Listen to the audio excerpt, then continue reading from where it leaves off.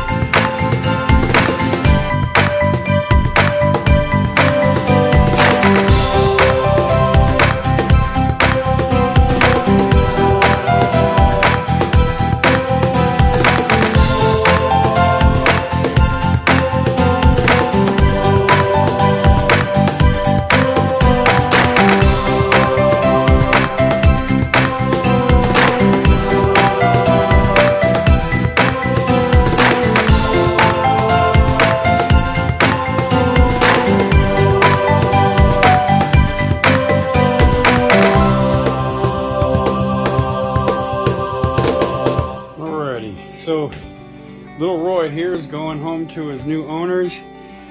I love breeding these English Bulldogs, and there's so much more to it than just trying to make money. When I got Bella, she was just going to be our family pet.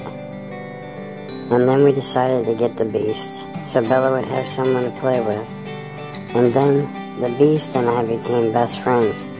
He became more than just a friend.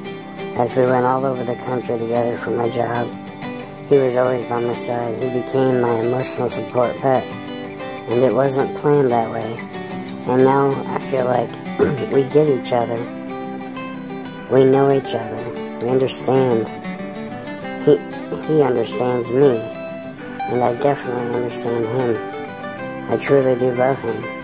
And as it is with any dog that you are going to purchase, you're not doing it just simply as a pet. You're doing it because you need something in your life that you're lacking.